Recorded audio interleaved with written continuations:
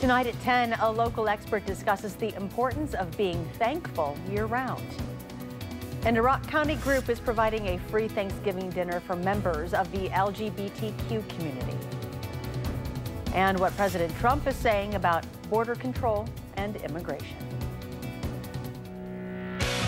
This is News 3 at 10. Thank you for joining us. It has been a cold Thanksgiving and we could see some winter weather in the forecast. Let's check in with meteorologist Hattie McLean with your first alert forecast. Hi, Hattie. Hi, Charlotte. We have it all in the forecast over the coming weekend. Rain and snow, wind and cold temperatures as well. Here's a look at weather track this evening. We're seeing some clouds still here in Madison. Skies have been clear, though, for southwestern Wisconsin and now starting to clear in the Janesville area.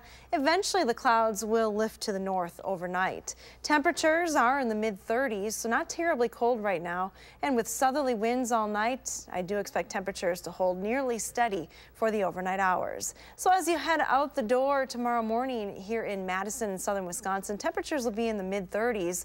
We're looking at highs, though, in the mid 40s during the afternoon. Rain develops after 3 p.m. as well. And that's your first alert forecast. Hattie, thank you. The Rock County Medical Examiner has identified the man killed in a Beloit shooting last night. Officials say 49-year-old Jose Reyes was killed in a shooting on the 1700 block of Harrison Avenue around 8.15 last night. Emergency medical services took Reyes to a local hospital where he later died. Police have arrested one suspect, a 20-year-old man, and they are not looking for any more suspects at this time. On this holiday, the focus is on what we are thankful for. But psychologists say being grateful year-round can improve aspects of your life, ranging from your overall happiness to the quality of your sleep. Our Madeline O'Neill tells us how and what little things you can be doing every day to better your life. Maddie? Charlotte, psychology research shows gratitude is one of the number one things most highly connected to happiness. A local expert tells us the correlation is about as strong as can be. So it might be worth it to carry that thankful spirit along with you after you get up from the dinner table today. I have so much to thank the good Lord up above for today. And it's just awesome. They're simple words. Thank you often heard around the Thanksgiving table. And I'm also thankful for my hands. I was thinking of that because I could help Melissa make all this wonderful food for people. On this holiday, giving thanks comes naturally. It feels like a family gathering to me. Even for those who can't be with their traditional families. My family's all back in south of Fort Wayne, Indiana. That's the case for many enjoying a free meal here at Cornucopia Arts and Wellness Center. It's a place to help those with mental health issues on their plates. I'm so glad there's an oasis of understanding. This Thanksgiving, Cornucopia lives up to its name, offering an abundance of food and friendly company. Too easy to focus on the negative. So turning their attention to the positive isn't so hard. I'd go say not for me. It's not for easy me. Inaction psychologists say offers widespread benefits. We sometimes have an inclination to focus on what's wrong instead of what's right. Psychologist Bob McGrath offers counseling services at UW Madison and guided meditations, which often focus on gratitude. It boosts happiness, it increases optimism. Um, actually, people start exercising more. It's like, what? How is that even related? But again, the one's sense of, of well-being increases and everything starts rolling along with it. The gratitude is already rolling at this dinner table, but McGrath says the goal is to have it spill over into everyday life. It don't have to be Thanksgiving or it's At Cornucopia, they already have plenty of gratitude to go around. People focus on the negative, and um, we try to focus on the positive. To carry over a sense of gratitude into everyday life, McGrath suggests keeping a short gratitude journal where you can write down a few things you're thankful for every night. Charlotte. Very good idea. Madeline, thank you. For the second straight year, the First Congregational Church in Beloit is pairing with a group called Yellow Brick Road to provide a free Thanksgiving dinner for members of the LGBTQ community. The meal included turkey, stuffing, and all the usual fixings. The group's founder says it was the concept of Thanksgiving that led her group to be founded in the first place after she realized the reality that some LGBTQ youth in the area were living. Kids especially, they get kicked out of their homes because of the way they identify. And 40% uh, of homeless youth are identifying as LGBT. Mm -hmm. So we thought it was important to have a Thanksgiving meal on Thanksgiving Day. Shu says she hopes the event continues to grow in the future. About 6,800 runners and walkers flocked to the Berbee Derby in Fitchburg this morning. For the 15th year, people either ran a 10K or walked a 5K. The run started in 2004 and was a way to bring people together to have fun before that Thanksgiving dinner. Now the run has turned into an event to support nonprofit programs with technology and technology in schools. It's really bringing families together and friends. They're outside, they don't have their face in front of a computer, they don't have their face in a phone, they're just enjoying each other, and that's just a huge benefit, and it's something that all of us that volunteer, we have 500 volunteers every single year, that's why we do it. 42 of the people who participated in the Derby have participated every year since its creation. For the 23rd year, Good Shepherd Lutheran Church is sharing thanks with a holiday meal. The church expected about 400 people to come throughout the day for a Thanksgiving meal with all the trimmings there as well. This is the third year Pastor Joe Brocious has been involved, who truly enjoys giving back to the community. This is really a community meal. There's people here who might not have a place to go, or people that can't afford a meal or don't want to be alone on the holidays, or we have a lot of families that this is their holiday traditions. Planning for the meal begins in August and takes about 150 volunteers to cook and carve 70 pounds of turkey. Then on the big day, about 100 volunteers help serve and clean up. Hundreds of volunteers helped serve a big meal to hundreds of people at Lambeau Field on Thanksgiving Day. Over 900 were expected at today's annual ecumenical Thanksgiving dinner in the Lambeau Field atrium. Christian Outreach has been holding these dinners at Lambeau Field for the past 16 years. Along with serving the meal in the atrium, volunteers also delivered hundreds of meals to people in the community. The group uses over 1,500 pounds of turkey and 650 pounds of potatoes for the event. An estimated 3.5 million people turned out to watch the annual Macy's Thanksgiving Day Parade in the Big Apple. The 21 degree temperature at the start of the day made it one of the coldest Thanksgivings in the city in decades. Some revelers camped out all night on the unseasonably cold holiday to get that front row seat, and many of those along the two and a half mile parade route say they were not deterred by the brisk weather. I have six layers on, five layers on underneath this and my snow boots on. I don't care how cold it gets. I'm in North Dakota. We can handle cold. Members of the NYPD kept an eye on how the wind affected each of those giant balloons, and thousands of officers were also deployed to keep the parade route secure. Gemütlichkeit Bucky, one of the Bucky on Parade statues, appeared in the Chicago Thanksgiving Parade. Bucky on Parade was a free public art event featuring 85 life-size Bucky Badger statues throughout Madison and Dane County this past summer. Gemütlichkeit Bucky was placed by the Wisconsin Capitol this summer and it was sponsored by Travel Wisconsin.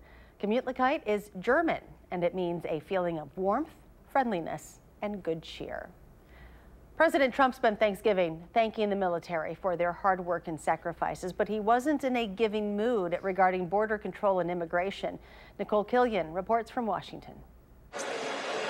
President Trump enjoyed a traditional Thanksgiving meal with friends and family at his Mar-a-Lago resort in Florida on Thursday night.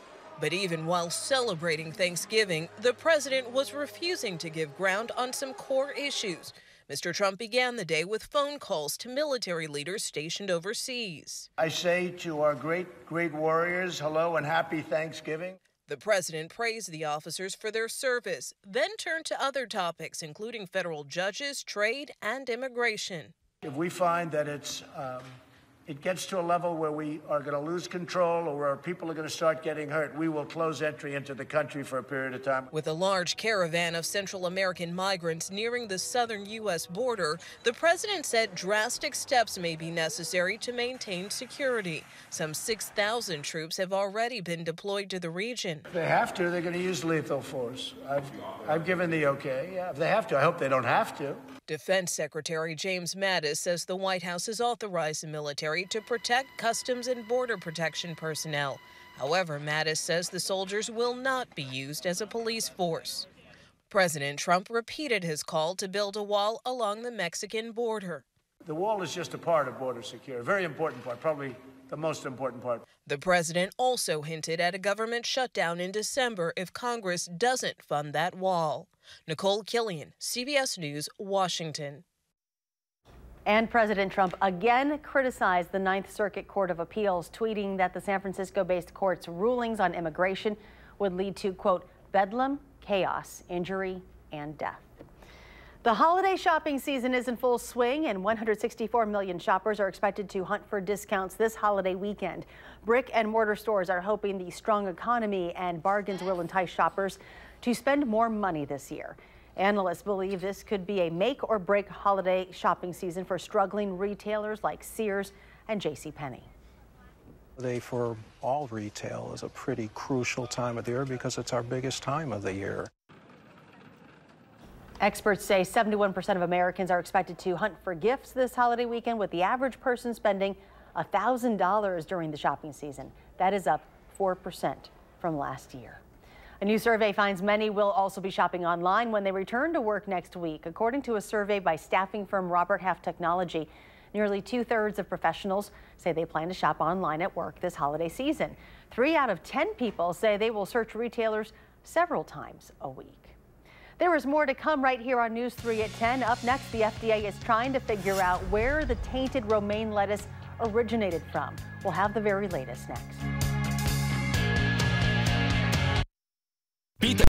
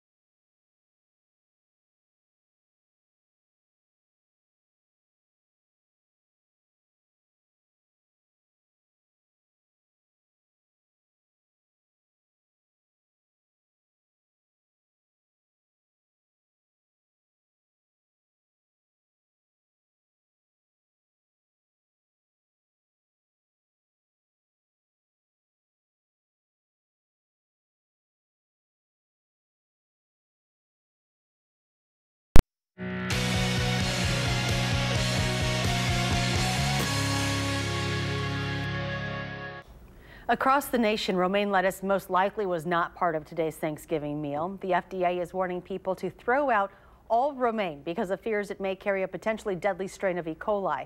Now the agency is looking at California as a potential source of that tainted lettuce. Anna Werner has the latest. Throwing it away. so wasteful. Forget about serving this tossed salad on the Thanksgiving table. All these leafy greens at Alameda Natural Grocery in California are going straight to the garbage. Cases of romaine, packages of romaine, um, probably over 200 pounds of lettuce we've thrown away. Health officials say romaine lettuce should be removed from all supermarket shelves and restaurant menus until they can determine the source of a new E. coli outbreak. A potentially deadly strain of the bacteria has sickened 32 people in 11 states since October. Nearly a third of the cases, nine, are in Los Angeles County. Yeah. Scott Horsfall, the CEO of the California Leafy Greens marketing agreement, says most of the romaine on the market when the outbreak began was grown in his state. Given the harvest cycle at that time, I think there's there's a there's a good possibility that it came from California. Yes. But he also says finding the exact farm will be difficult because it takes about two to three weeks for investigators to confirm an E. coli outbreak is underway. So by the time they're actually doing traceback, um, there is no packaging left, there's no product left. An important clue for investigators is the bacteria's DNA. It's very similar to the E. coli strain that caused a still unsolved outbreak in 2017. The CDC says about 48 million people get sick from foodborne illnesses every year, 46% of them from eating leafy vegetables and other produce. Cooking kills most germs found in food, but because romaine lettuce is usually eaten raw, that's not really an option. The CDC says just throw it out. It's not worth the risk. Anna Werner, New York. Americans eat about 30 million servings of romaine lettuce every day. Meteorologist Hattie McLean joins us now with a look at this upcoming holiday weekend. Yeah, it's going to get a little interesting around here. We'll oh, yeah, Sunday. Everybody's keeping their eye on Sunday, especially because Sunday's you know, a big travel, travel day. day. Yep, mm -hmm. it's a mm-hmm. huge travel day across the area, and we'll talk about that potential for snow coming up then. Let's first take a step back, though, and look at those high temperatures today. 55 in Des Moines. St. Louis topped in, six, uh, topped in the 60s at 63 degrees. 40 in Chicago. So there was quite a uh, contrast in temperatures just over a few hundred miles. 35 here in Madison. There were some spots, though, in southwestern Wisconsin that did creep into the 40s today.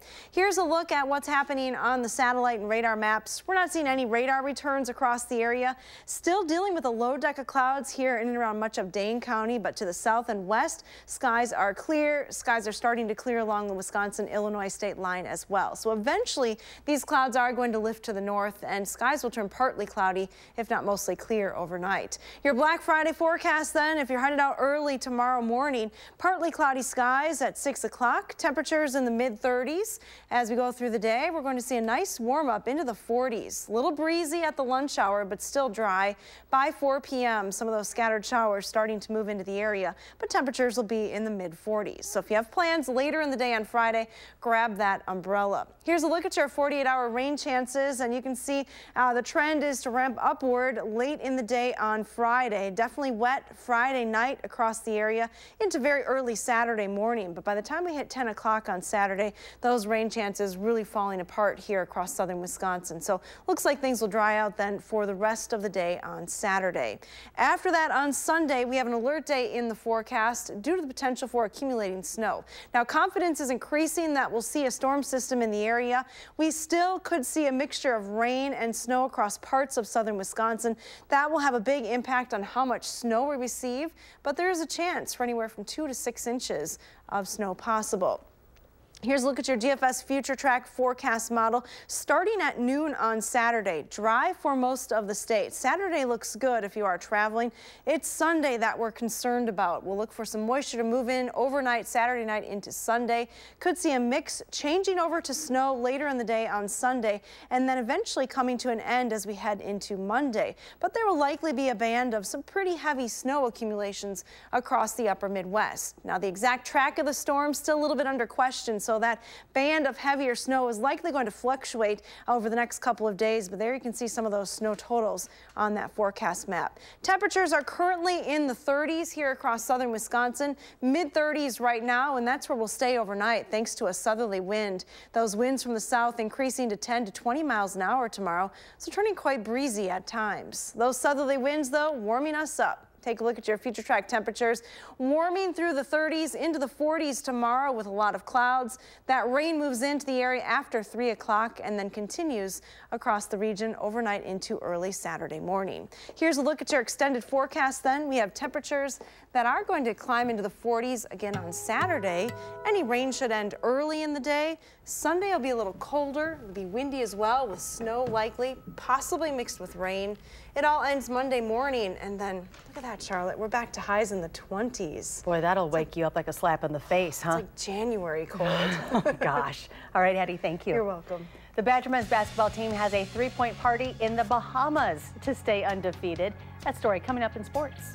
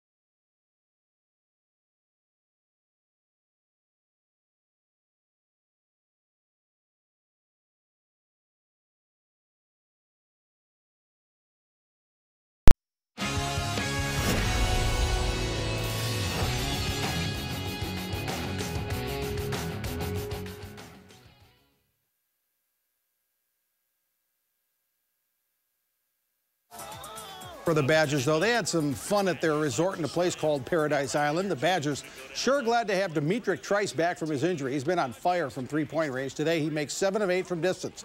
Trice leads the Badgers with 25 points. And Ethan Happ does it again, his fifth straight game with a double-double. He even pulled out the old left-handed jump hook here. 14 points, 12 rebounds for Happ. The Badgers stay undefeated. The final score, Wisconsin 78, Oklahoma 58. Kobe King also scored a career-high 14 points. The Badgers made 14 of 22 from three-point range today. Wisconsin will play in the championship game of the Bad Boy Mowers Battle for Atlantis tomorrow. They'll play in the title game tomorrow afternoon at 1 on ESPN, and they'll face the University of Virginia and head coach Tony Bennett. Virginia knocked off Dayton in the semifinals today, 66-59. Wisconsin and Virginia met a year ago in the Big Ten ACC Challenge when Virginia was ranked number one in the country. The Cavaliers won that game 49 to 37. Don't look now, but the Chicago Bears are looking like the monsters of the Midway 2.0. The Bears win again as they played the Lions in Detroit this afternoon. Now with Mitchell Trubisky out, Chase Daniel gets his first start in four years, and he makes some good plays like this touchdown pass to Tarik Cohen. Still a tie game, 16-16 with six minutes left. Matthew Stafford would like this one back. The Bears' Eddie Jackson jumps the route. It's an easy pick six. Final score, Bears 23, Lions 16. So here's how the NFC North looks now. The Bears extend their lead over second place Minnesota and the third place Packers, and it's basically over for the Lions as they fall to four and seven on the season. So that brings us to the Packers and Vikings in Minneapolis Sunday night. It's their second meeting of the season. Their first ended up in a 29-29 tie at Lambeau in September. It's really hard to underestimate the importance of this game for both teams. It's important. They all are. I don't really know how to uh, give you a different answer on it. It's an important game. Uh, you know, we, we, need and want to come out with a win, and uh, there's certainly a sense of urgency as there is every week as we prepare. We got to play a great game. You know, they're a fantastic defense. They got weapons on offense, and we're going to have to score, uh, you know, score 30 and uh, and be efficient. I, I, look at it as a must-win at this point. We, we don't really have any other games to, to spare. Um, you know, they, they're a great team, so we, we definitely got to bring it when we get out there. Um, just not, not take it lightly at this point. It's, uh, it's pretty much do or die. The other NFL games today, Dallas took the lead in the AFC East with a win over Washington. The Saints now 10 and 1. They beat Atlanta in New Orleans tonight. And in that Cowboys game in Dallas, Ezekiel Elliott scored on a 16-yard touchdown run, and Zeke is a generous fellow. He actually had a guy in the end zone hold his money. The guy gave Elliott the cash, $21 to match his number, and Zeke dropped it in the big Salvation Army kettle in the end zone. He was penalized for unsportsmanlike conduct, but Elliott later turned his pledge into 21000 for the Salvation Army after the game. And we'll be right back.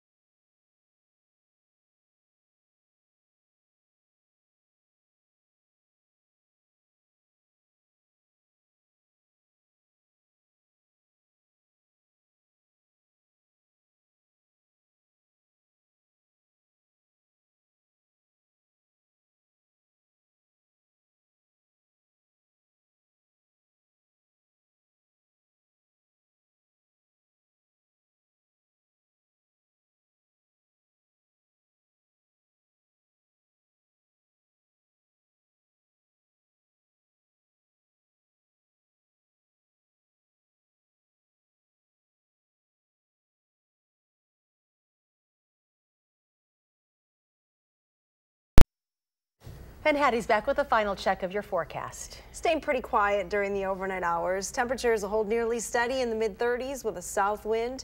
Our extended forecast, though, as we head through the rest of the weekend, does get a little active around here. We have rain moving in late on Friday, ending early Saturday, and then snow on Sunday. Sunday's the day to watch. It's an alert day. That snow may impact travel. All right, Hattie, you get to sleep in tomorrow. Yes. Good to see you. Thank you for joining us. Hope you had a wonderful Thanksgiving. Do something good, and we'll see you back here tomorrow.